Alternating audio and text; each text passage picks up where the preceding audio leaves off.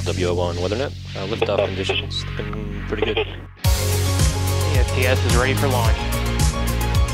Ignition. Liftoff. Falcon 9 has cleared the tower.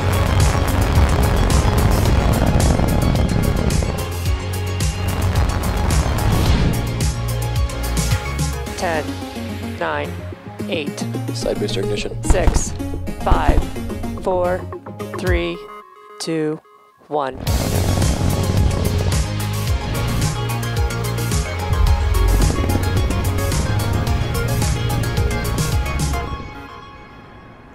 Good evening. It's Tuesday, November 23rd, and on your screen is a live view of Falcon 9 as it awaits its 10:21 p.m. Pacific Time launch from Space Launch Complex 4 East at Vandenberg Space Force Base.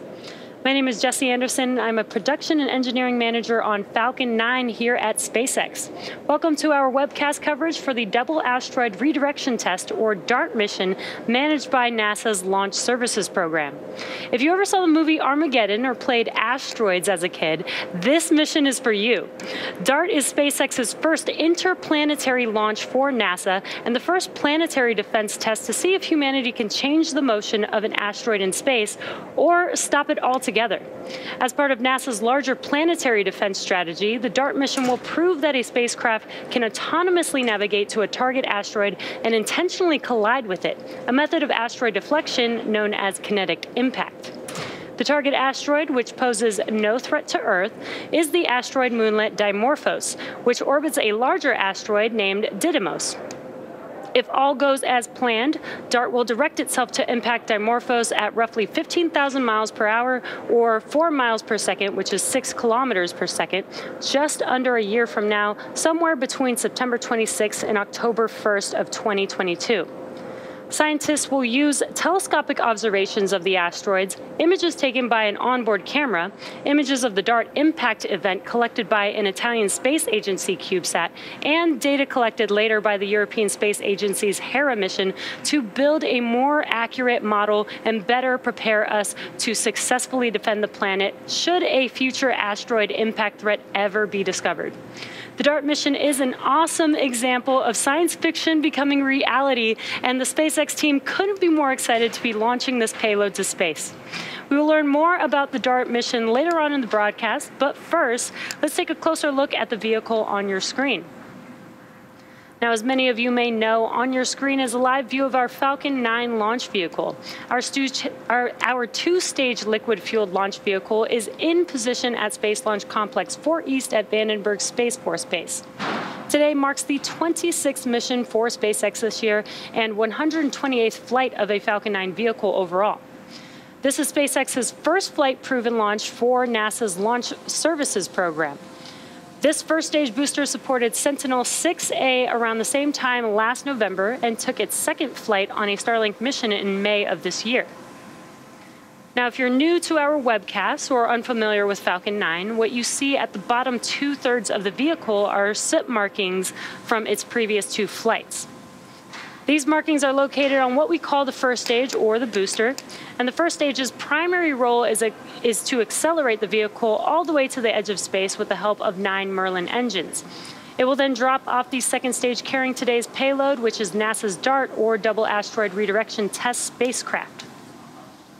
Now, following separation from the second stage, the first stage will make its way back to Earth for the third time, where we will then attempt to recover it on our autonomous drone ship. Of course, I still love you, and that is a live view of that drone ship right there on your screen. Now, if you turn your attention to the section above the first stage and the black carbon fiber interstage, you'll see Falcon 9's second stage. About two and a half minutes into flight, the first and second stage will separate, and the second stage will ignite its single Merlin vacuum engine to carry the DART spacecraft to an interplanetary trajectory, as I mentioned earlier in the webcast. Separation from the second stage will occur, and then the spacecraft will perform burns as it begins its journey in space. Now, finally, above this stage, placed at the very top of the vehicle, you'll see the nose cone structure, and that is called a fairing. Inside of that structure is the DART spacecraft. The two fairing halves are safely encapsulating the spacecraft to protect it from aerodynamic heating, loads, and contamination during ascent. The fairing halves we are using today are brand new, and we plan to recover them on our recovery ship NRC Quest. Now, once the vehicle reaches the vacuum of space, we will jettison the fairing halves as the second stage continues on its journey to orbit. Good evening from Hawthorne, California. I'm John Insprucker, the Falcon Principal Integration Engineer. And the launch vehicle and spacecraft are in good health and ready for launch as we approach T minus 13 minutes 30 seconds to liftoff. The Falcon 9 team reported on console at T minus 2 hours 15 minutes. We received the final countdown briefing from the SpaceX launch director, and we began the final checks of the launch vehicle and the ground systems. Final checkout of the flight termination system was performed at T minus 1 hour 45 minutes. Now, most recently, we completed the poll to proceed with propellant load and launch. Propellant loading is ongoing. We started it on time at T minus 35 minutes. Now, Falcon 9 is a bipropellant vehicle, meaning it uses two propellants, a fuel and an oxidizer. For Falcon 9, our fuel is a refined form of kerosene known as RP1. Now, to burn the fuel, we need a source of oxygen, which we call the oxidizer. Most burning on Earth uses oxygen, which makes up about 21% of the air you breathe. However, in space, there is no atmosphere to provide oxygen or other oxygen bearing molecules, so rockets need to carry their own. Falcon 9's oxidizer is super chilled liquid oxygen called densified LOX. The liquid oxygen is chilled well below its boiling point to increase its density, and that allows us to load more into the first and second stage LOX tanks. Now, currently, fuel loading is complete on the second stage, we're continuing fuel loading on the first stage up until T minus six minutes. Liquid oxygen is loading on the first and second stages right now. Now, in addition to its propellants, Falcon 9 also needs an ignition source to start burning the fuel and oxidizer. And for that, we use the chemical TEA-TEB, which stands for triethyl aluminum and triethyl borane. We ignite the engines by first flowing some liquid oxygen and TEA-TEB into the gas generator and the main combustion chambers. The TEA-TEB burns in the presence of oxygen. So once we get that ignition, then we can introduce the RP1 kerosene fuel and the Merlin engine goes to full power for liftoff. Now at liftoff, Falcon 9's two stages combine to hold over 1.1 million pounds propellant. And we'll burn through most of that over the eight and a half minutes it takes to land the first stage and get the second stage into its initial orbit. Now, once our Merlin engines begin to burn the RP1 kerosene fuel and the liquid oxygen, you're going to see the rocket essentially throwing the combustion exhaust out of the engine nozzles in one direction, resulting in a push on the rocket in the opposite direction. And this is the great example of Newton's third law of motion. For every action, there is an equal and opposite reaction.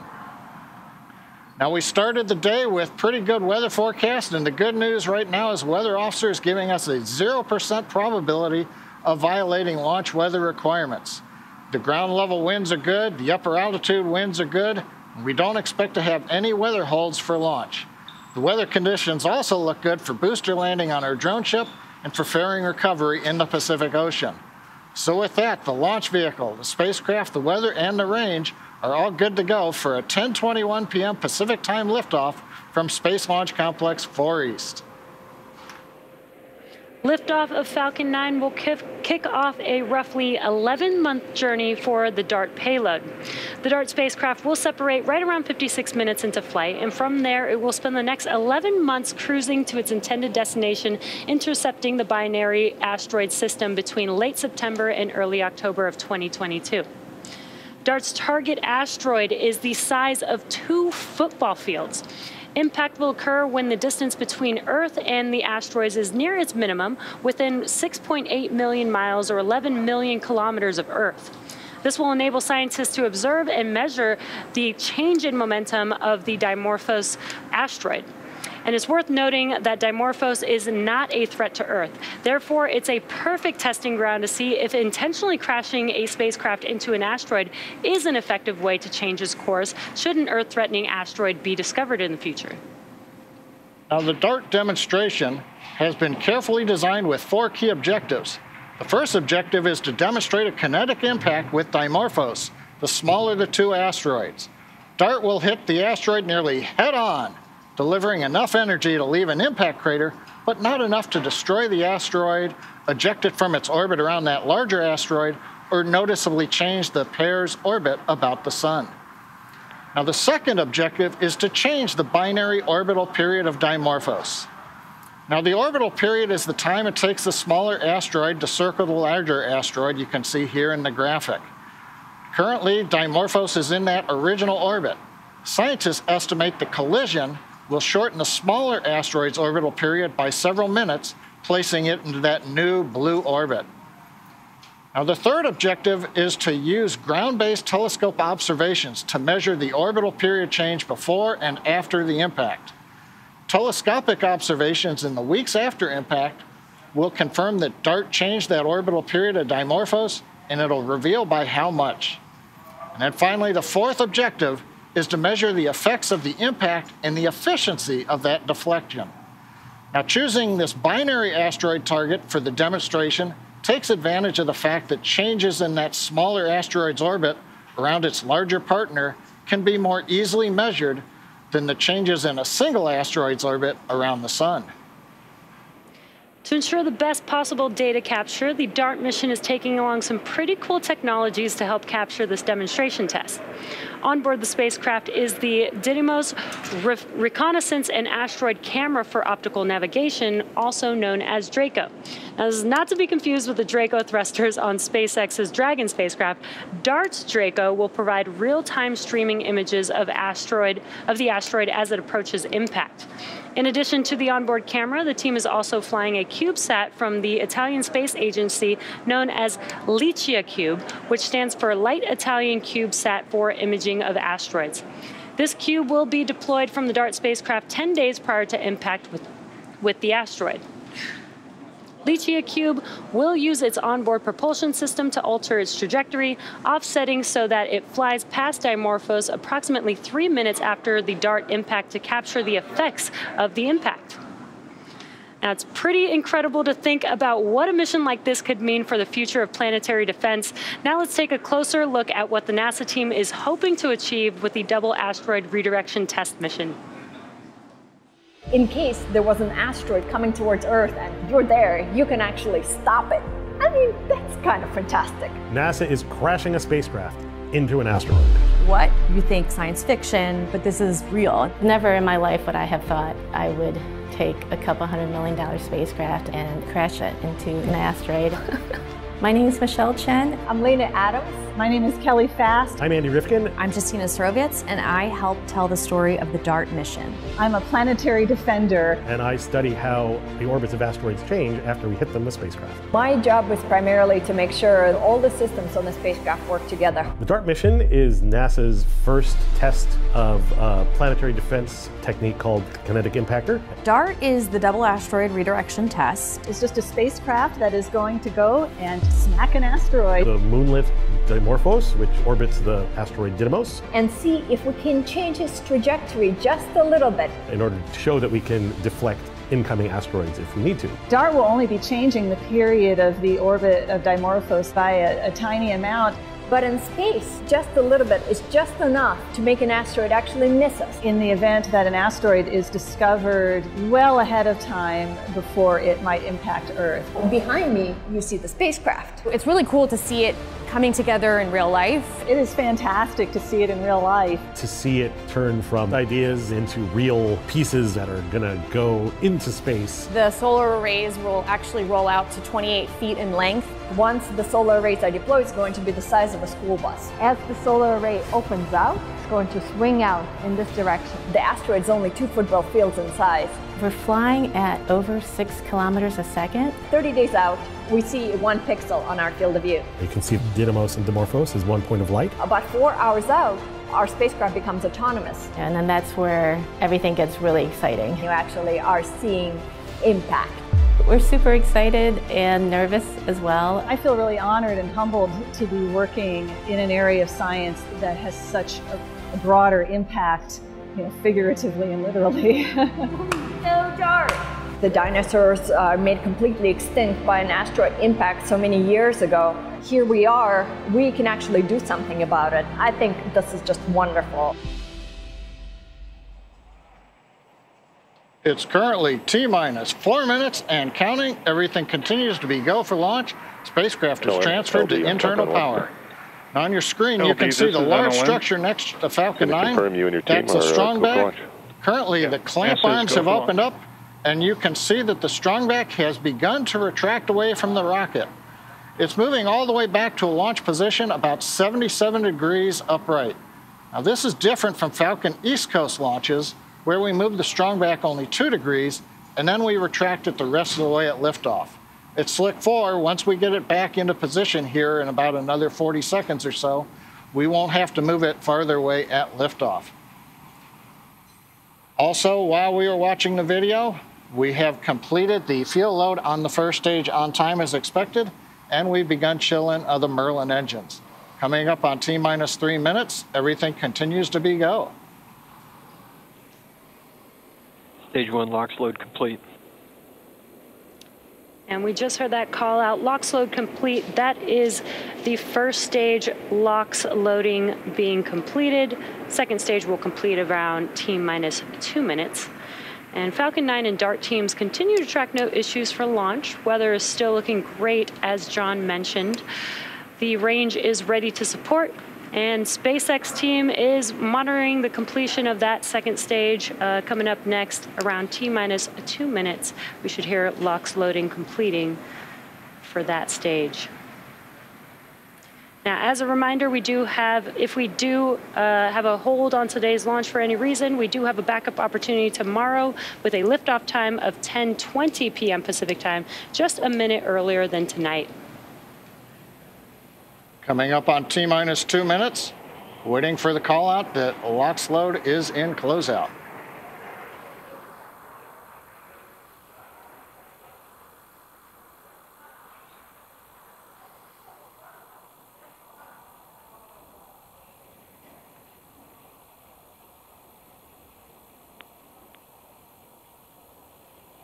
Stage two LOX load complete. There we go. Stage two LOX load is complete. This completes loading of the over 1.1 million pounds propellants on the Falcon 9. All systems remain go for launch. Now the SpaceX ground computers are now draining propellant out of the lines that go up the strongback to the second stage, and that creates the white cloud that you see around the strongback. Pressure from the ultra cold liquid oxygen line is being vented, and that causes moisture in the California night air to condense. Next event will be the startup call out at T minus one minute. The first second stage computers on Falcon 9 will execute programs to prepare the rocket for flight, leading to ignition of the Merlin engines at T minus two seconds and liftoff at T0. Falcon 9's in startup. There's that call out. Falcon 9 computers are now running the final sequence for launch. First and second stage tanks are beginning to final pressurize for launch. Just waiting Falcon for 9, DART, go for launch. And there's that final go for launch with all systems for go for T0. Let's listen into the terminal count and watch Falcon 9 transport NASA's DART spacecraft into orbit.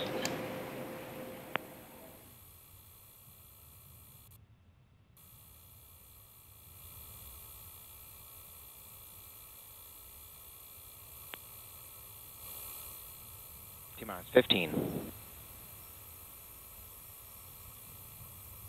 10, 9, 8, 7, 6, 5, 4, 3, 2, 1, 0. Ignition. Falcon 9 with the DART mission on the way for humanity's first ever planetary defense test mission. Vehicle is pitching downrange.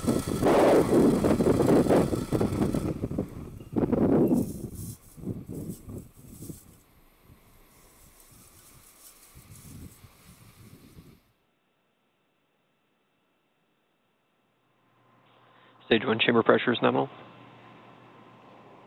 T plus 33 seconds. SpaceX launch engineers seeing a nominal conditions on Falcon 9 as we begin the trip to space carrying the DART spacecraft. M1D engines about to begin throttling down. Power and telemetry nominal. We're throttled down. Avionics calls out good power on the vehicle. Vehicle is supersonic.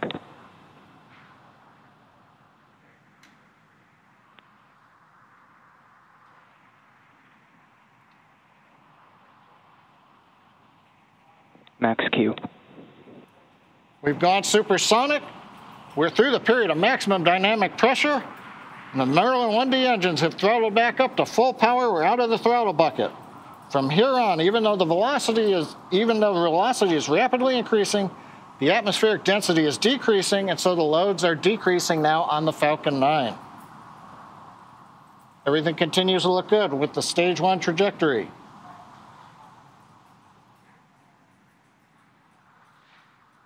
Has started. Lead valve is open on the second stage engine. That's beginning the final chill prior to second stage engine ignition.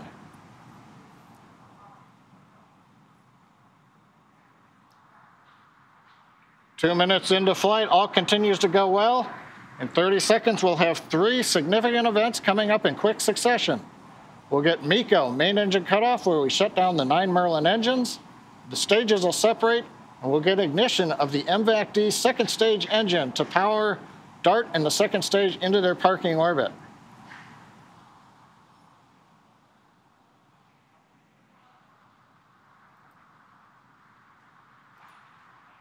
We've throttled down to hold at 4 Gs, getting ready for Miko.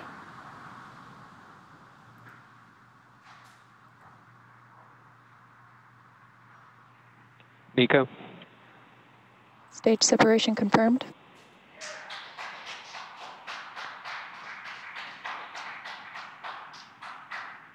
MVAC ignition. We've got successful stage separation, second stage engine ignition now at full power on the Merlin engine. Next event coming up is going to be payload fairing jettison. On the left side, you can see the titanium grid fins on the first stage beginning to deploy as we get ready to bring the first stage back down to the drone ship. Of course, I still love you in the Pacific Ocean. Getting ready now. There's the view separation confirmed. of the fairing. And we've got deployment of the payload fairing and now the DART spacecraft exposed to the vacuum of outer space. Now we will be attempting to retrieve these new fairing halves with the help of our recovery vessel, NRC Quest. Stage two on nominal trajectory. Everything going well with Falcon 9 and DART.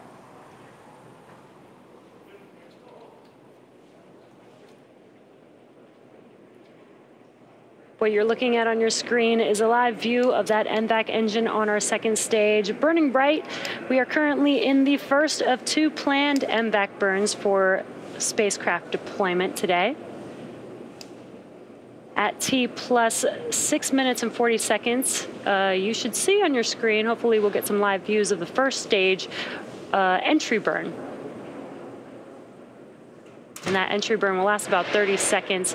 Now for the entry burn, we do relight the center E9 engine and then partway through we relight the E1 and E5 engines so that we have three total M1D engines helping to slow the vehicle down as it passes back into the Earth's atmosphere.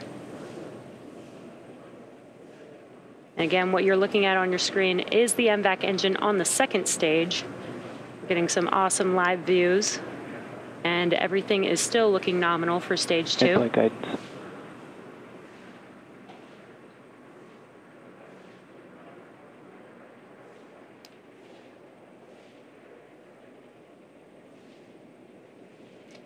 At T plus five minutes into this mission, we're just under two minutes away from the entry burn on the first stage as second stage is continuing on its journey. Again, this is the first of two planned MVAC burns for this mission.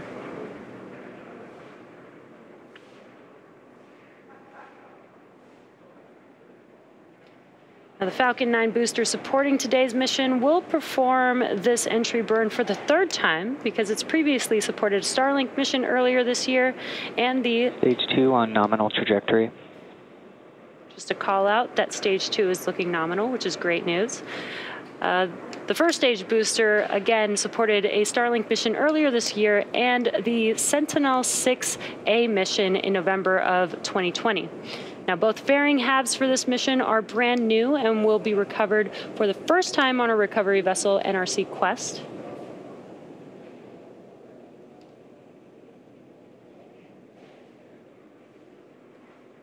We are just about 30 seconds away from that entry burn on first stage.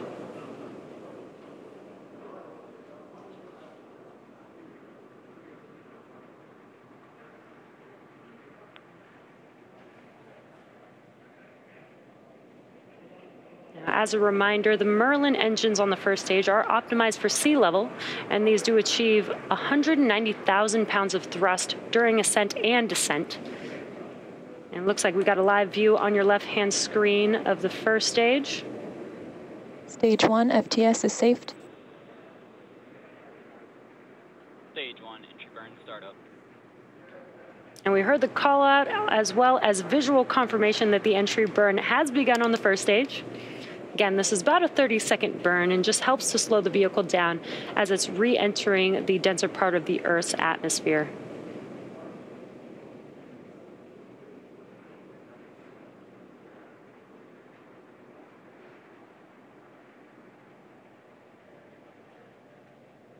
Stage one, entry burn shut down.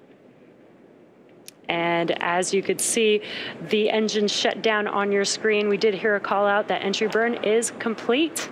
Stage two, FTS is saved. Stage two continues on a nominal trajectory. Now coming up in just, Terminal guidance. just a little over a minute will be SECO 1. That is second stage engine cutoff one. Again, there's two burns for the MVAC engine on the second stage, so we are in the first burn. Expected loss of signal cook. So we should see this engine shut off here shortly. And about 20 seconds later, we'll see or hear the landing burn call out on first stage begin. MVAC shut down.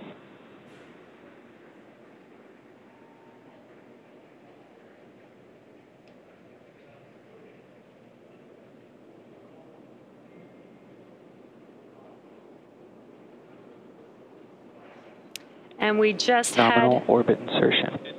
that's what we were waiting for. Stage one, landing burn startup.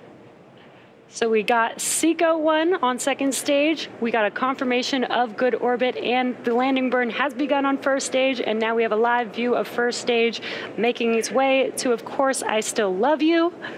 Stage one, landing leg deploy.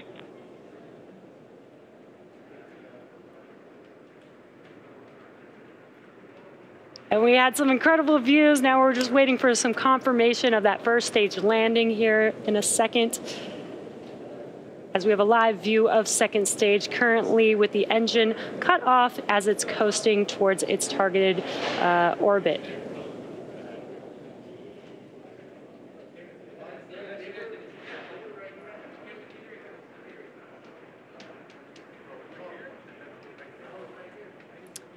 And we will wait for that confirmation of that first stage landing, but uh, you have just witnessed Falcon 9's 26th uh, flight for this year. Um, and we will confirm once we have uh, that confirmation for that first stage landing. So now at this time, our mission isn't over just yet. The second stage is now embarking on its first coast phase. Coasting in this orbit will last about 20 minutes, and we will light that MVAC engine for a second time shortly after T plus 28 minutes and 38 seconds. So we'll see you back here at T plus 28 minutes.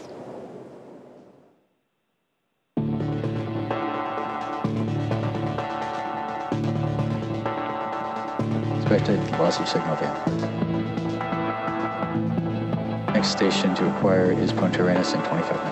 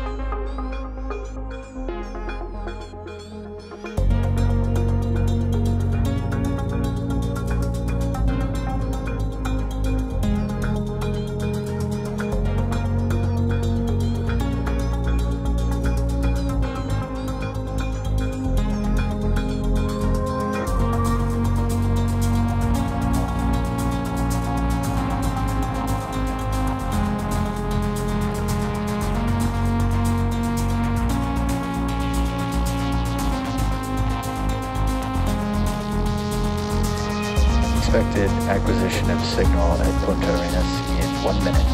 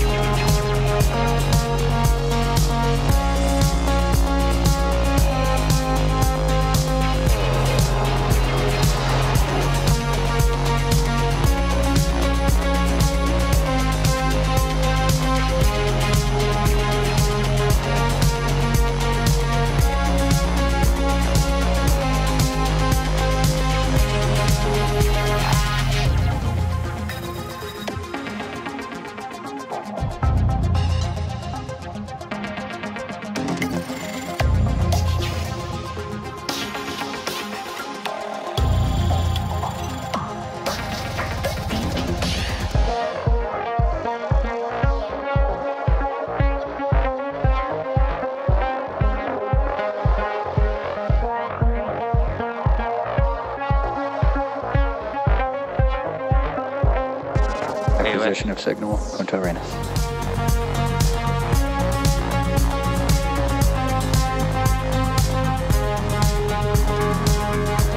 MVAC engine chill in progress.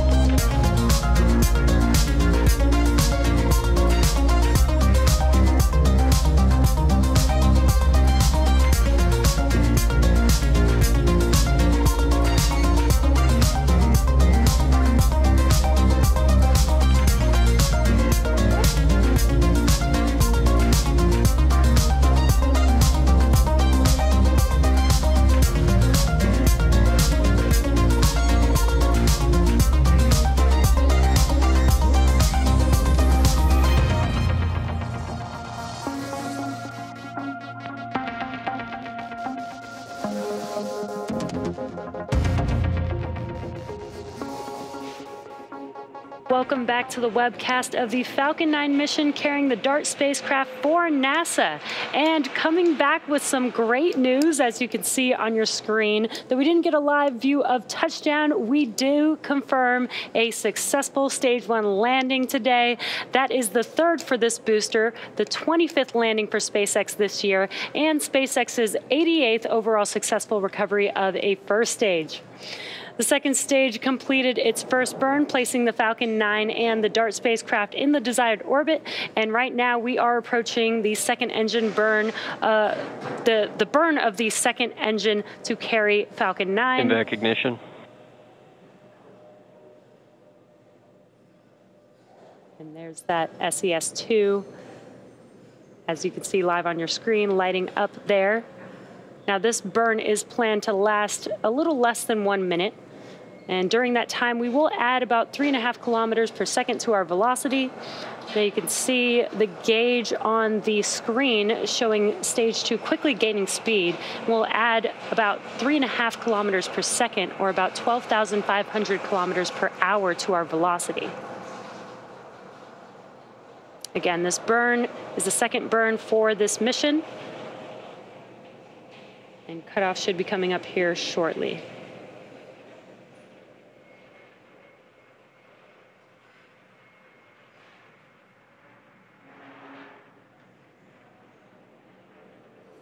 MVAC shutdown.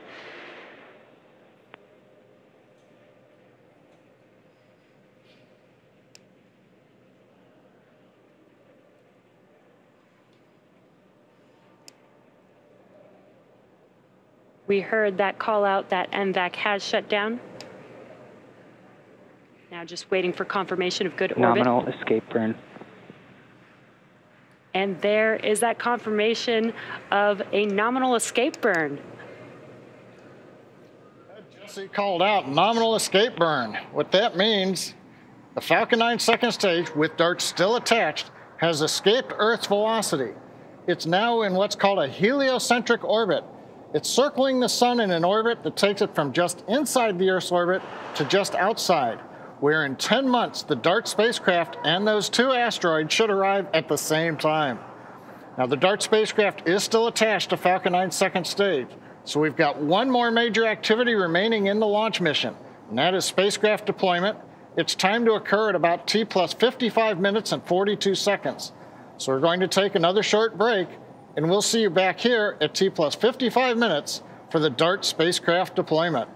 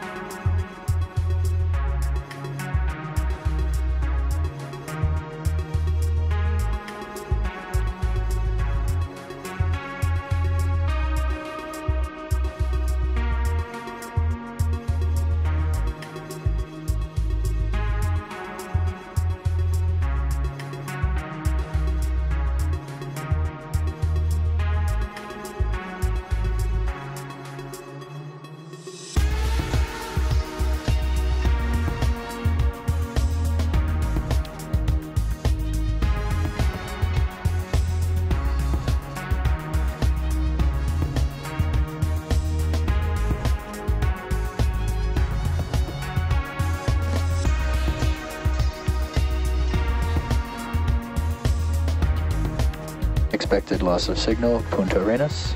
Our next collection will be in five minutes.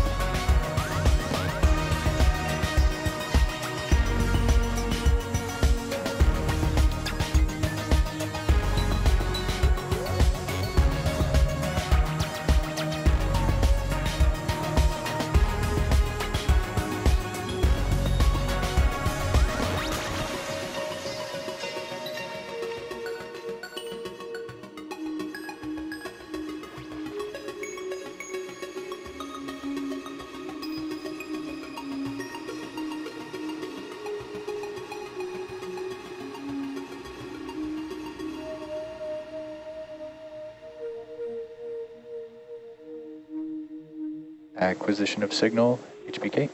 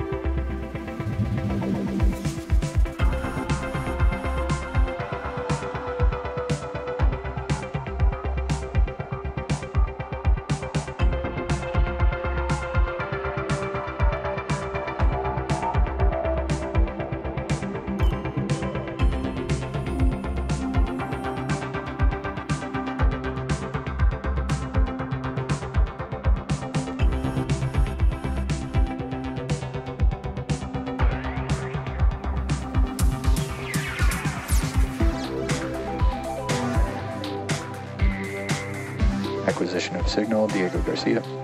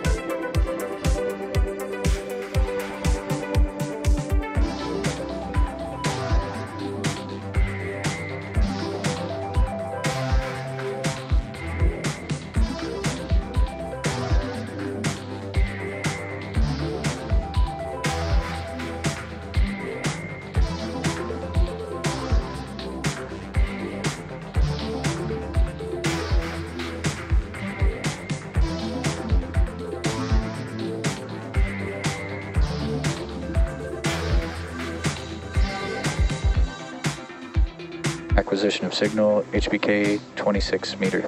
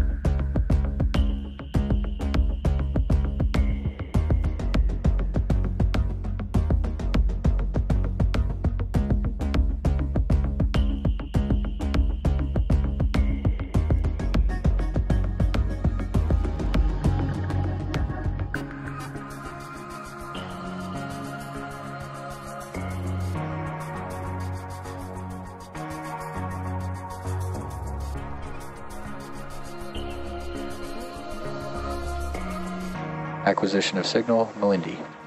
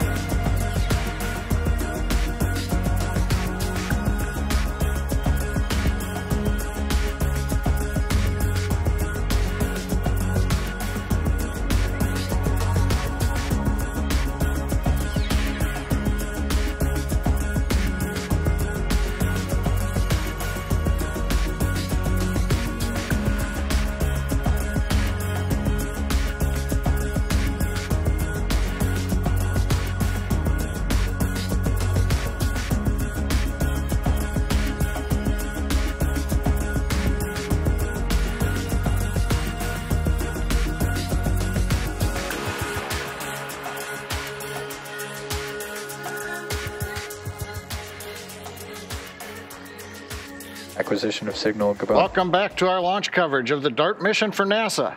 If you're just joining us, we had an on-time launch at 10:21 p.m. Pacific time, followed by successful ascent stage separation. First stage landing took a little bit, but we got the pictures, and it's two second stage engine burns that have put DART on an escape trajectory from Earth. There's one more major milestone coming up to complete today's mission, and that is deployment of the DART spacecraft from the Falcon 9 second stage, due to happen in about 10 seconds from now. The view you see from the second stage camera is the DART spacecraft. We're going to listen to hear the call out and watch for DART separation. DART separation confirmed.